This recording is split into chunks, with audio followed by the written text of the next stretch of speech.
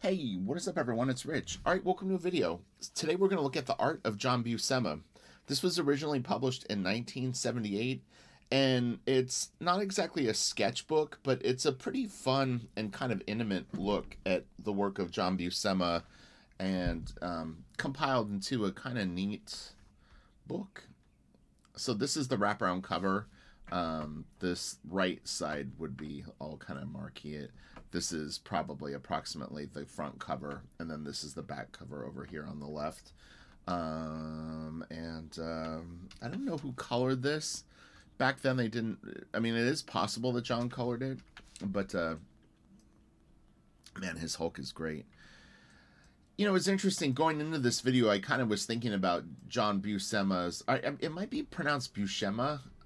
I've always said Buscema, but I, you know, I, it's me saying it in my head and then doing a YouTube video and what I kind of think it is. I, I haven't really heard a lot of people say it, but I, I think I might be saying it wrong. Um, uh, you know, we're at a point where it's 2023, and sadly, I think that that as each progressive generation of young artists comes into comics, some of these guys and girls and their impact on comics is is gonna be slightly lost. I hate to say it, but um, you know, it wouldn't surprise me if you, you know, talk to some people that are maybe a couple of years into their career, and and I don't know. Uh, it's this isn't. An, I'm not an old person talking about it because I'm still. I'm kind of middle aged, but but um, you know, Buscema did this work a long time ago. He's been gone for a long time. It's not like Buscema is part of a conversation that goes on with people in art now. You know, everybody's buzzing about the next shiny button that is a digital program or whatever. But a lot of what we do in comics really is derived from things that John John created. So we'll get into the book and we can look at it and um, enjoy his work now. This is the cover. Oh, so it's, yeah, it's cropped kind of with the thing. Really, really cool.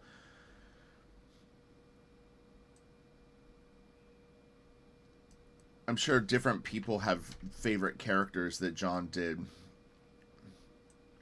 You know, whether he worked on them on a series or you just always enjoyed the way that he drew the character when he did draw it, which might not have been as frequent, but um man, I'm digging the Hulk. This is the back cover. Yeah, it's it's really interesting, and I don't what I don't really know what made me think of it, but I think I just looked at this and went like, man, I have a feeling that this is kind of getting lost in the shuffle now. Now, it's very very possible that like many things, things circle back around where just because right now at this moment people aren't respecting the OGs, we'll call it. Um, you know, it doesn't mean that three years from now, all of a sudden, something kind of retro hits and people start going like, "Oh man, I'm into Jack Kirby and you know John Romita Sr. and all this." I mean, it could happen. It sounds uh, un- unlikely, but I mean, it, in any art field, music, whatever, um, there's just gener- generationally speaking, things tend to kind of wind back around and the best shit is always the best shit, you know. Mass is great. Kind of almost a Joe Kubert feel on this a little bit.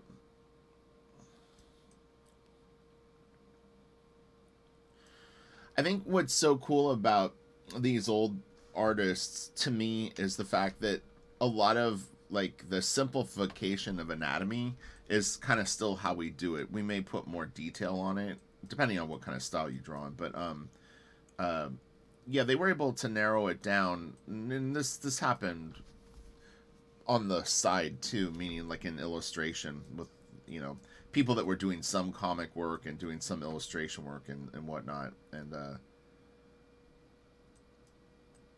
yeah, it's really interesting had another book that I almost was going to do. Here's John right here. I uh, that was called um, uh, John Buscema, the Michelangelo of comics. It's funny, his finger's all dirty. He's got the inky finger. He must smudge with that finger. Looks like a nice guy. Beautiful head of hair. Alright, so we got a little story. If you'd like to read it, you can pause this and read it. Um, and uh, get into that whole thing. If you'd like. Alright. Oh, cool. So it's an interview with him. I wasn't really sure. I, I saw that there was a lot of spot illustrations. Well, that's, that's actually really cool. I'll, I'll again, you can pause this if you want to read it.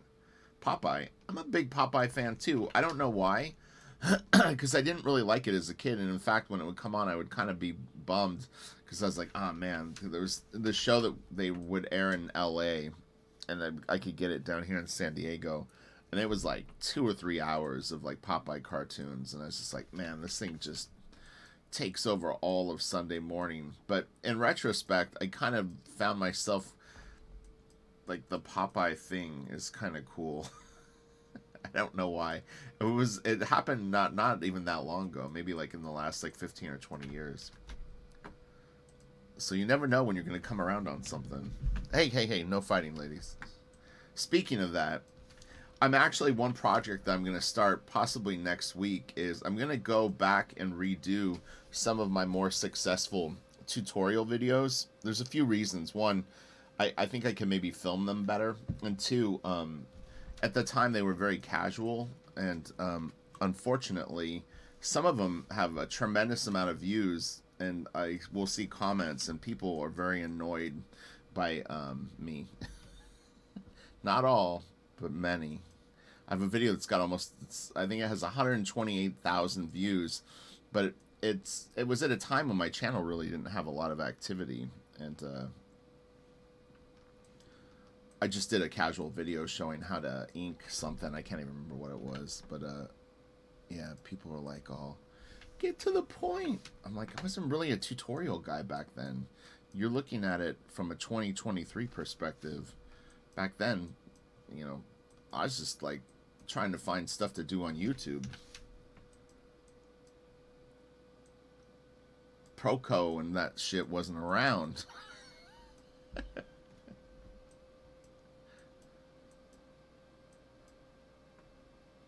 so nice. With art like this, it's it's almost difficult for me to really have too much to say in terms of um, other than the fact that I think that there's some really like eh, they're great gestures and there's brilliant simplification would be the best way to put it. Is if you want to learn your nuts and bolts of comics in in a very direct way that can that, that you can ramp it up and get really really detailed with I mean, this is all the the kind of iconography that's used, just in a in a more direct way than um, what you might see on some things. This is nice. It really looks like he wanted to do like a lot of fantasy stuff. I mean, obviously he did Conan, but um, yeah, I think left to his own devices, he he would have gone in like a Frazetta way or something and tried to do a body of work like that. But it was such a competitive market. He was already kind of like so locked in with comics. Beautiful hands, man, those are great.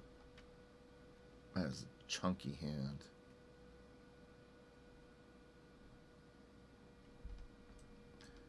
I saw someone even mention yesterday that they were working from the How to Draw Comics the Marvel way, which John illustrated. Uh, but yeah, I mean, oh, this is a really great drawing.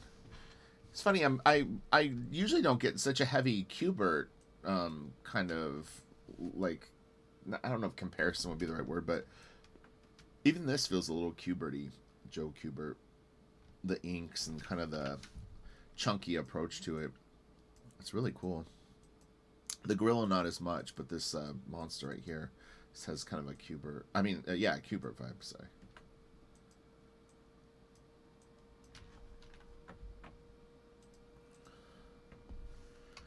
I think if you're an artist and you are into this stuff, one advantage that you have over digital art and the the impending doom that people feel from things like AI and whatnot is there's a particular fan base of original art collectors that gravitate towards this. Not not saying drawing like John Buscema, but what I mean is because someone someone in Super Fun Sunday was like AI is gonna take it all away or whatever. So that wasn't the exact thing that they said, but um, you know, AI competes in a different um, ballpark. It it will eventually start to affect comic book jobs and design jobs and things like that. But ultimately, if you want to draw comic books and you put it out there that you're a traditional artist and you do this thing, there's still a lot of people that would much much rather support someone that actually draws traditionally um, and um, has original art that they can purchase so there's a lot of different ways you can support yourself doing comic books doing traditional art that um, if you're really good you can make a lot of money far more on the original art than actually the jobs themselves honestly um, so never underestimate the allure of sticking a pencil on paper and then inking it with a pen. And I see it. I see it firsthand on Patreon. Every uh, honestly, i I think I said this in a video not too long ago. I may have even said it on Patreon. Maybe it wasn't a YouTube video, but um, there's no doubt in my mind. There's more and more people wanting to learn to ink. Every penciler that I see wants to ink themselves. Every inker that's just interested in inking, you know, is trying to improve their skills I mean, inking has really had quite a renaissance um, in the last like two years. Because I I almost never review anyone that just pencils anymore. Everybody is penciling and inking themselves. So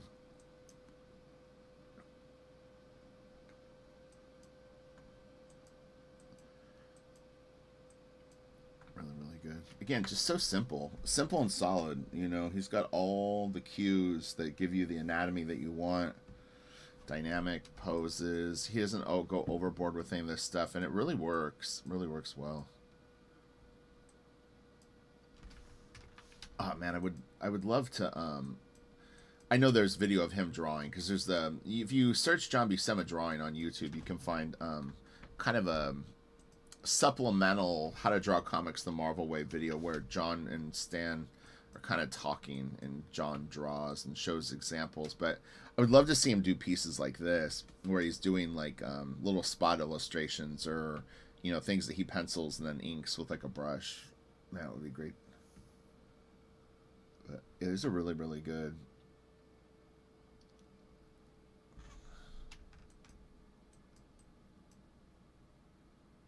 It's funny. What characters you dislike having to do? Like I said before, the superheroes. So he he's definitely into the whole fantasy, more organic kind of thing. That's interesting.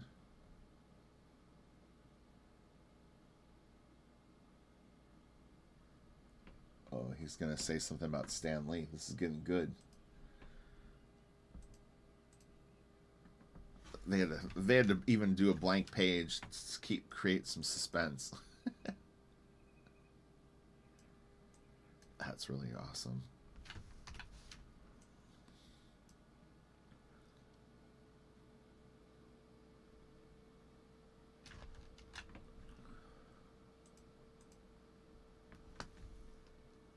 He's going to give it to us straight. What is it? When I was working with Stan, and we worked on Silver Surfer Thor.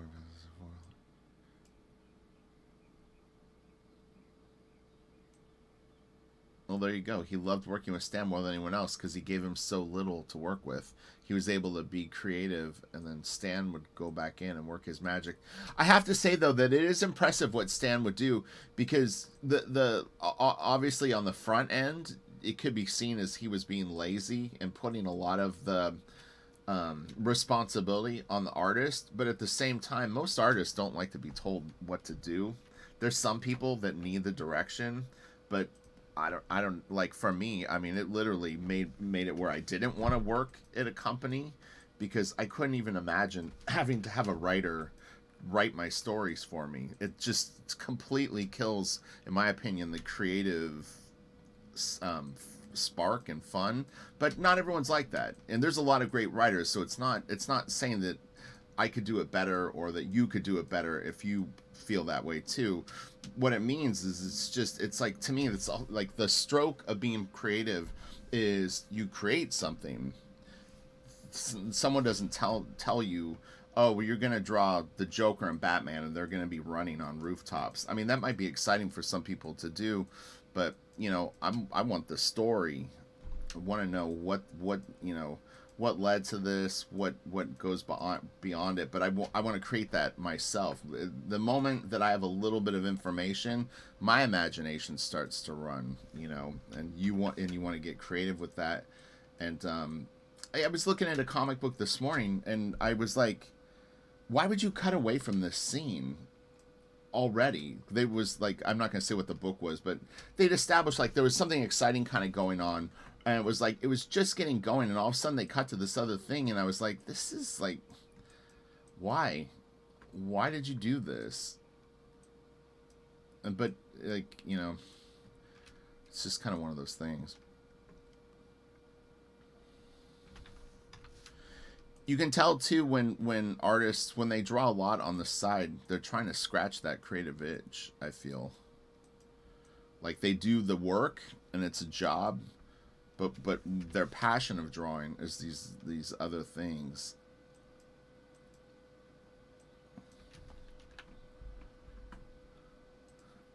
oh, I you know what I actually have this comic. I forgot about that. So he did he did the Wizard of Oz. It's like a um, Marvel Treasury size thing. I didn't realize it was Buscema Interiors, but I bet it I bet it is. I do have it for sure. It's pretty good. I haven't seen it in a long time, but it's somewhere.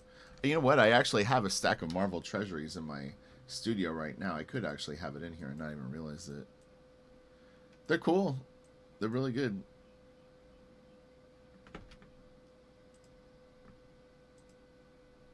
Oh man, that's nice. Speaking of Joe Kubert. God, man, that's so badass. I love the sketch.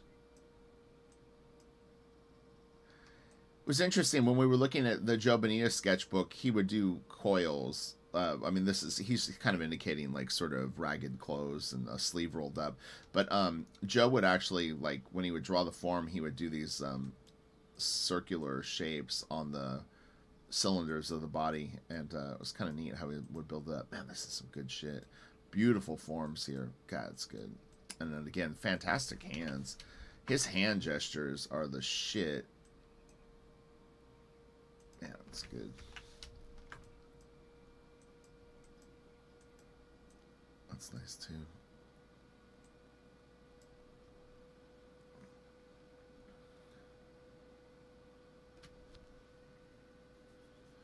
the interview stuff is pretty interesting. I'm like, oh, hmm. Hopefully, people are reading it or will read it. Oh, this is nice. This is a nice book. This is really, really good. Man, it's classic. Pretty John Buscema girl face. This is great too. I feel like like two things that John really did add to comics was this this face. It's kind of morphed into different things, but man, he drew some really really tough looking guys with that dark kind of shadow around their eyes and then his women were always like super hot this is cool more classic that's so interesting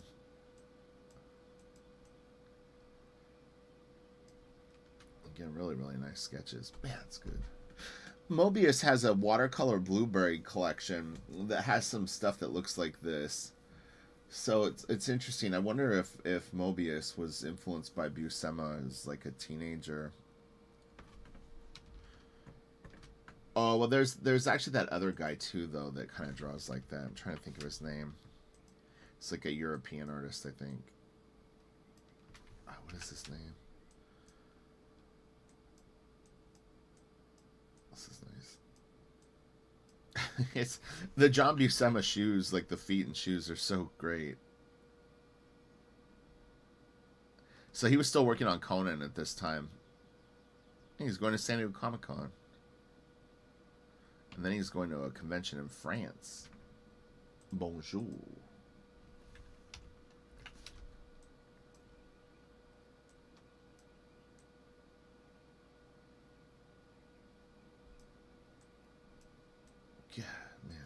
So good. This is really interesting. The way that he inks this, I'm trying to think where that. This is reminding me of um, like it doesn't look like Scott Williams inks, but if you look at like 80s, like the 80s stuff that he was doing on Jim, the genesis of some of the techniques that he used are, are kind of in here with the like the thin the thick and the um like you could almost see the waggle sort of starting, you know, like the the this line could just as easily lead to the the sort of zipper effect thing that they would do which might have come from Neal Adams, but I, I definitely think that Neal Adams was a Buscema guy too. It's cool. It's kind of like I've been yesterday. I spent all day working on the Blasterkid logo, and um, it was really interesting going through hundred, hundreds of fonts and seeing what elements that I liked um, of different fonts, and then kind of you know, you go go kind of beyond it, but what shapes, like what shapes I like. But um, it was it was funny what I was gravitating towards. But uh, yeah, these are some interesting shapes on this. smooth lines, you know in particular, it's a little different for John in, in terms of the silhouette. It's it's rare that he would have so many round shapes like this. There's a lot of like um, stretched out S curves.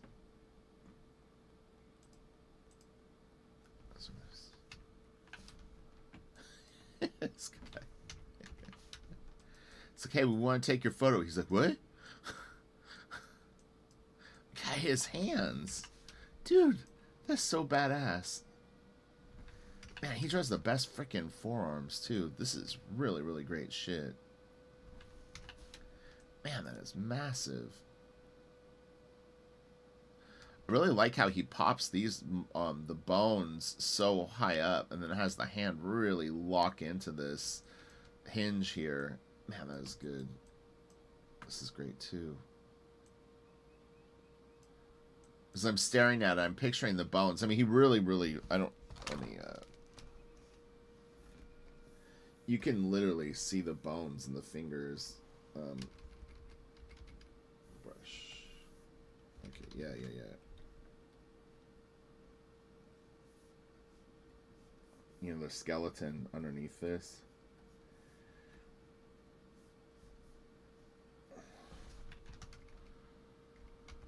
He really really draws the bone with a little bit of skin on it. I mean, these are these are just the core shapes of it.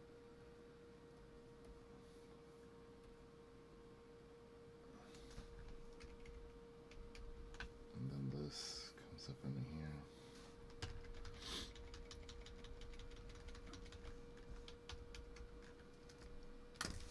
This guy's awesome. This is kind of funny. It's like, it's just like, oh, just gonna lay down and chill for a minute. It's all right.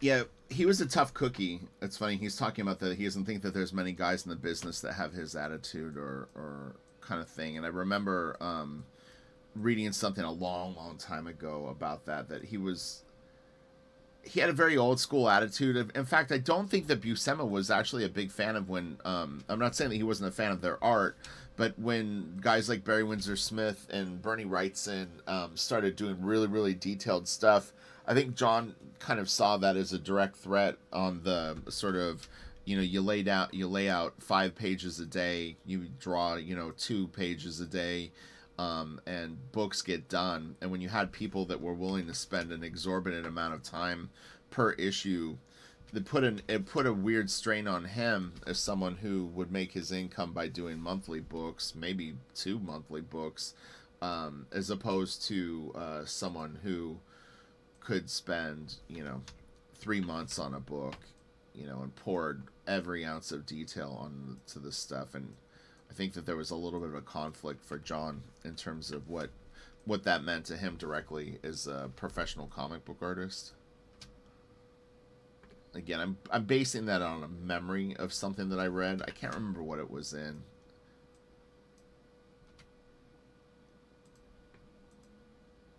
Or where where I saw it. It was definitely from John though. That wasn't like someone else said it about John. This is nice. God, man, these sketches are so good. Really amazing. So, okay, we are almost at the end here. Everyone have a nice day. I'm going to get to work.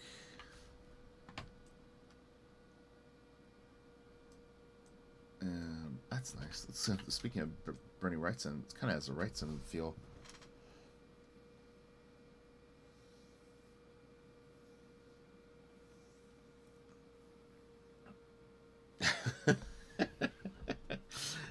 How do you feel about Fanslick? A few times I've met up with a couple of them, and they're real pains in the neck, but most of them are nice.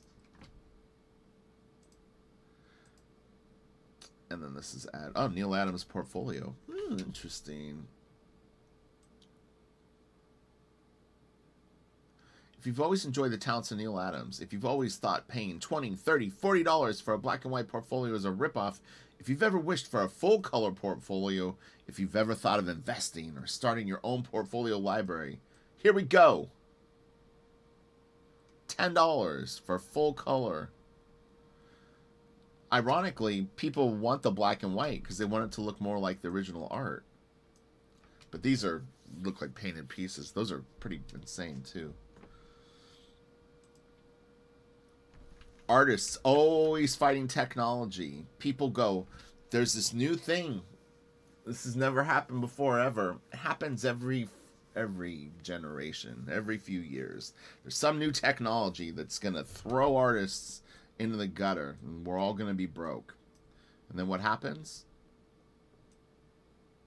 The artists flourish. no, I don't know. Maybe not flourish. Some Corben right there. Sorry, you guys have a great day. Go grab out your John Buscema comics, Buscema, Buscema, however they say it, and uh, enjoy. Spread the word that John is out there still. His work lives on, so that the kids the Peach Momokos. no, she's really good. Um, be curious to interview her just about John Buscema, though. She's like, wait, what are you talking about? No, it's all right. All right, so have a great day. I'll talk to you later. And um, if you have recommendations for other videos, let me know. I'm seeing some good names right here. I'm like, hmm, lots of good talent just listed here. If I could, I wish I could find the Neal Adams portfolio. It might be on Heritage. I could look and see if it's up there. That would be actually pretty badass to see. So, okay, I'll talk to you later. Bye.